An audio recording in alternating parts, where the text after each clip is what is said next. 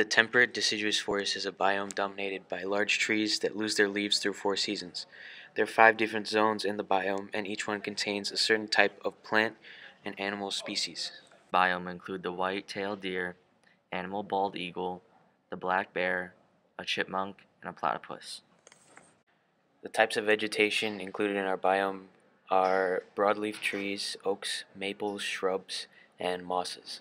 Interactions found in our biome are competitions, which are species of saplings compete for soil and sunlight, predation, where co- coyotes prey on white-tailed deer, mutualism, where ginkgo tree seeds spread by worm, where the worm then gets to eat bark and leaves from the tree, and parasitism, where E. coli infects and feeds off the platypus. The food chain in this biome is made up of primary primary producers, which are plants that produce their own energy from sunlight and water. The next level are primary consumers, which include herbivores, uh, including squirrels, insects, and birds.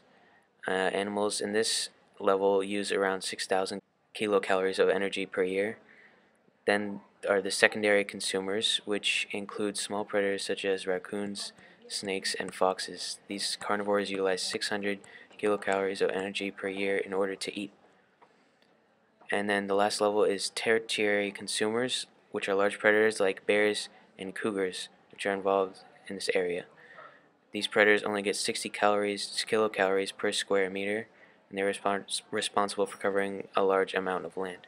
Abiotic factors in this in this biome include the average temperature, which is negative 30 degrees Celsius to 30 degrees Celsius, and the average rainfall, which is 30 to 60 inches a year. This biome is located in mid-altitude areas, meaning they are found between the polar regions and tropics. Some are found in, east- in the eastern United States, Europe, China, and Japan.